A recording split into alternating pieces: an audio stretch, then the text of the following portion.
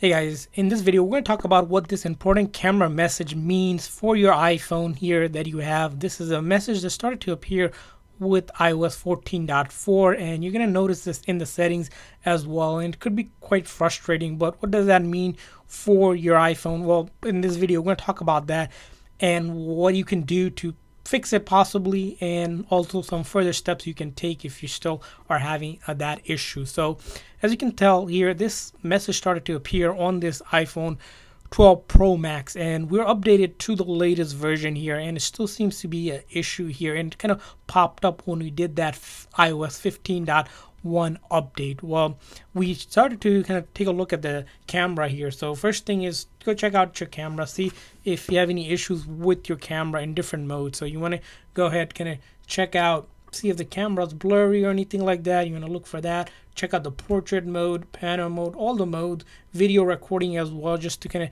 take a look at to see if there's any issues with this slow mode all of that. Go first check that out. And then after you have done that you want to test out both the back and the front as well. So you want to do the same thing for the front and the back just to make sure they are working as they should. The next thing you want to check out is the flash. So this could potentially have impacted the flash. To make sure the flash is actually working on your phone as well and then check the flash level as well. So make sure those are working. So if those are working that means most likely there's no really issue with the camera so why that might appear is a couple reasons Your first reason is going to be if you actually replace the camera with a non-genuine camera so maybe third party repair shop if they replace the camera for you that message is going to pop up because what apple has potentially done is that they're making all these repairs that you would do normally sort of harder and more detectable by consumers. So especially if you're let's say uh, on the second hand market if you're buying and selling phones and doing repairs you're going to notice that and it's going to be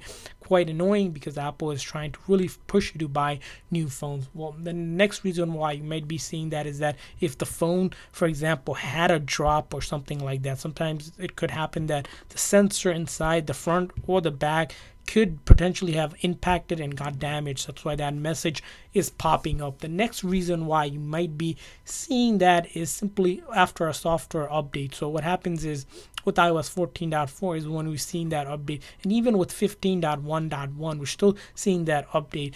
One way we see some people have actually fixed that is that they were able to upgrade to the soft the latest version of software and it went away. So again that's going to be kind of hit or miss for you as well. It's something we have done but it didn't seem to fix the issue. The other thing here that you can do is simply do a backup and then do a factory restore of the phone. So if you backed it up to your computer or some other phone you can simply go into general settings general and then go down here reset and then do a erase all content and then set it up back again just to see if that message goes away. Again this is going to be a little bit more further into it. Of course you can also try doing a force restart of the phone so that's going to be pretty straightforward to do a force restart.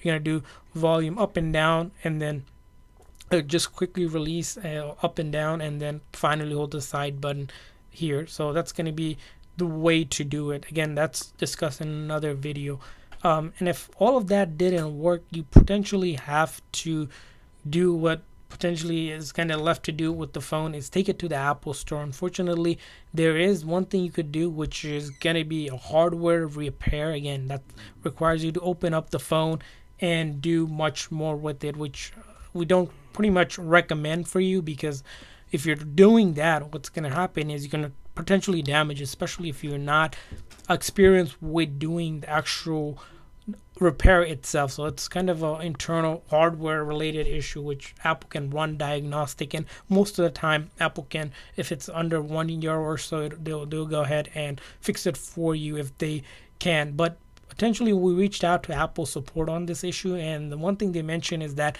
still a bug fix in their actual software so it's a false alarm that's being happening on a lot of devices and if a lot more consumers start to report on this what's going to happen is they're going to prioritize on getting this fixed and at this point it's kind of frustrating, but that's where Apple has sort of landed with this error message. So hopefully you got something out of this video. Again, we mentioned it's not something you should be worried if your cameras are working. Try to update it to the latest version of the software, do a forced restart and see if that helps and do a factory reset and essentially kind of hope for the best and lastly kind of reach out to Apple support as they can kind of start taking a note of it as they mentioned to us that they're starting to see a lot more devices. So it might be a widespread issue at this point. So hopefully you got something out of this video. And if this video is helpful, please make sure that like and subscribe button. See you guys next time.